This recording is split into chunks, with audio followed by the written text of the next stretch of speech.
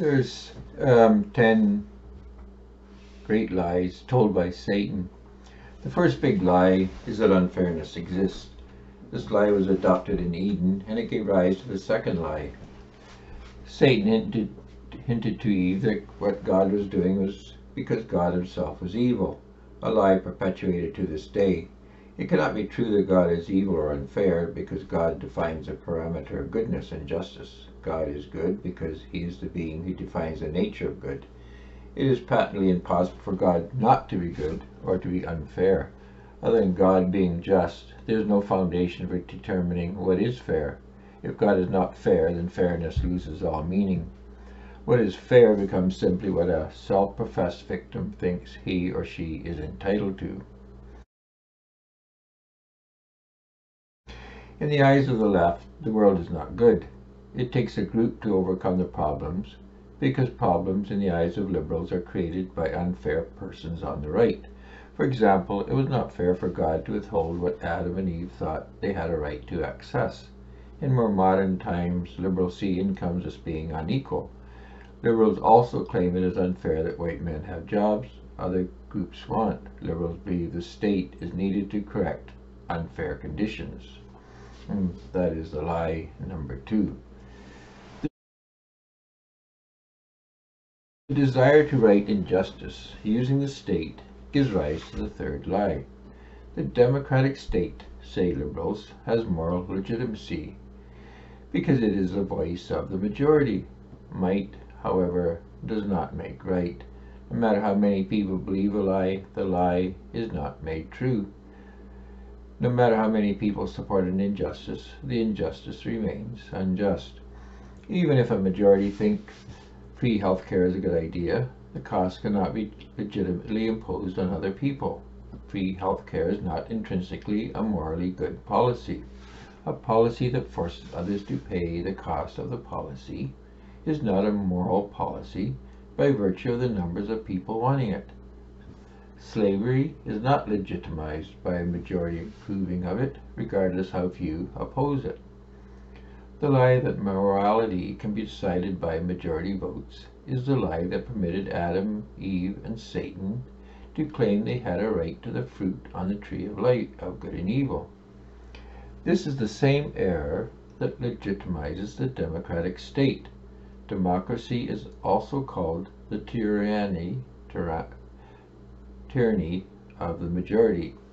It is wrong to murder someone. How can it be made right by a majority decision? Majorities cannot turn an immoral act into a moral one.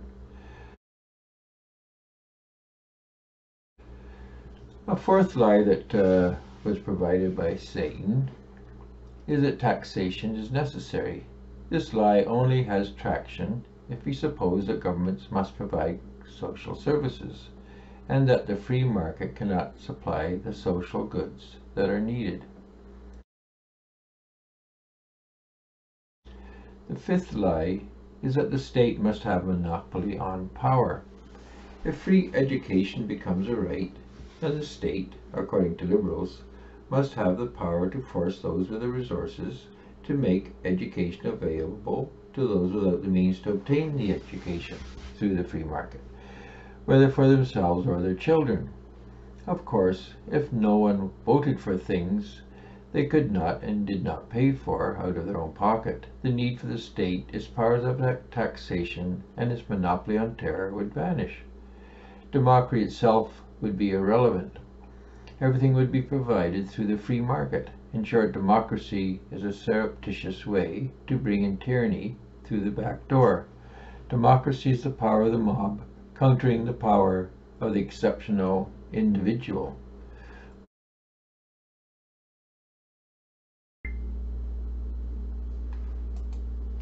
The sixth lie is that human rights are legal rights. This lie required by democracies. If we agree human rights exist independently of the state, democracies could not invalidate or rescind or overcome a person's human rights. This means a state would no longer have the right or to tax or otherwise remove resources from one group to benefit another group. If human rights are independent of legal rights, the state could not be given a monopoly on power, nor could the majority opinion have the final say. All of these lies rest on a seventh lie, that the world is material.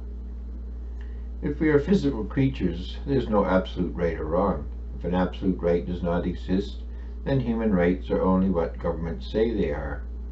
And since what is right is what is decided by us, the best way is to decide right and wrong by a majority decision, or democracy. However, The notion of a physical world in which what is in our mind replicates perfectly an objective existence is both ontologically and technically untenable. Even if it were true, there is no way to test or confirm the hypothesis. All we understand is concepts. All that is in our mind is communicatable concepts. Reality is what can be communicated in an articulate way. God spoke the world into existence. Jesus is the Word of God. Reality and truth are metaphors for the truth and reality of God. Reality can be communicated because it is composed of the communications we engage in. As we learn to communicate, we learn what is real because we learn what can be communicated. Reality requires an originator of a concept that can be communicated and a way to communicate the conceptualization in symbolic form, and a receiver that can receive and decode the symbology. Reality is a shared concept. Reality itself is a concept. What is real corresponds to that which corresponds to our concept of what reality is. All truth and reality is created in the mind of a being, primarily God, as information but human beings create information also. New information is what gives us progress. Progress is the development of our concepts. The reality we have, the truth we have being given, limits the truth we can discover. Truth must be coherent with all the information that already exists in a coherent whole.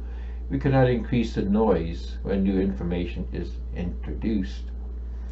That is, what we introduce has to make sense in terms of the information and the content that has gone before. Each new understanding comes from the mind of one person standing up and telling the rest of the world they are wrong. Innovation is about adding to the information available in a coherent way. What is more ethical than the person who created new information owning what they created? By what right can a stake, state take wealth from the person who created it? If there is any fairness or justice, it is that the creator of wealth is the owner of that wealth, and no one has the obligation to pay the cost of created by someone else. These seven lies are lies because they do not and cannot make sense with the totality of the information available to us. This lack of logical coherence may not matter in a physical universe, but this is of the utmost importance in the conceptual realm.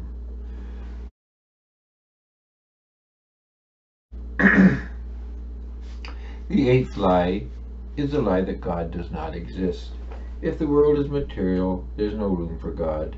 If the universe is composed of matter and all truth is verified by confirming it as a material event, the existence of God cannot be verified by the very terms of the verification process.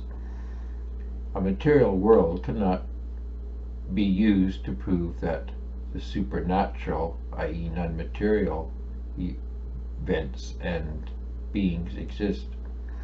However, if matter cannot be proven to exist empirically, and empirical science cannot be proven to be the only source of truth, the materialism itself must be confirmed as a valid hypothesis before it can be used to discredit belief in God. In other words, we do not need to prove the supernatural realm exists if the only reason for doubting this is because of a belief in an unproven and unprovable physical realm. First, prove the natural world exists before a concept is supernatural.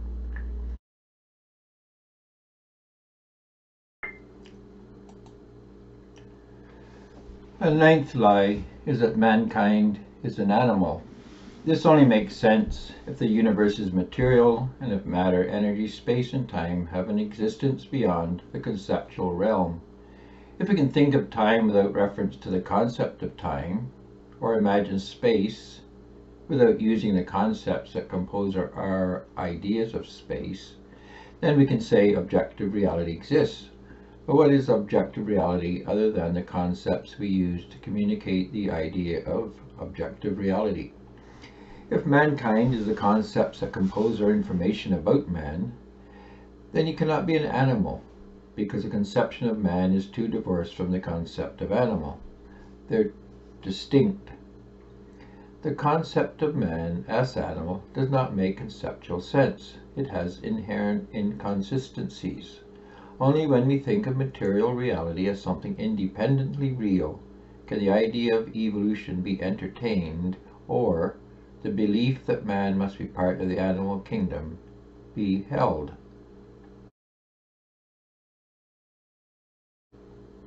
Ten.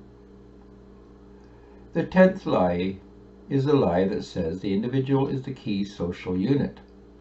The true social unit is a church or social network. The individual has no identity apart from the group. Our identity is formed within the group. This takes reality away from the material realm. Community is not a physical construct, it is purely spiritual, as is the church. We find our place and identity through engagement with other people. This is why the free market is so vital and why socialism so destructive. As humans, we need to help each other engage with others of their kind. We must not permit isolation or redundancy of people to exist. Everyone is a vital part of society and a key to the development of our own identity.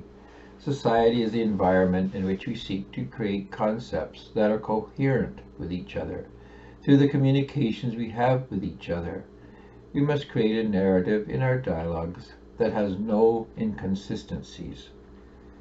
Lies are destructive of the social fabric and even our human identity because they create division and disharmony. We cannot fit lies together because if they truly meshed with everything else, they would not be lies. Lies by definition are inconsistent with the truths we have. One inconsistency is enough to invalidate a concept and define it as a lie. We have already noted that there is no way to reconcile the state's power of taxation with the concept of human rights or justice. We must do away with the state to have human rights and justice.